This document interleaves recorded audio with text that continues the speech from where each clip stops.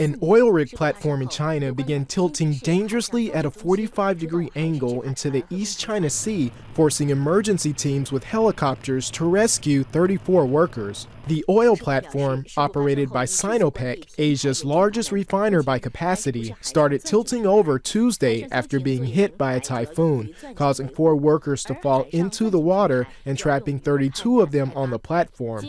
Two of the workers are still missing, according to the Ministry of Transport.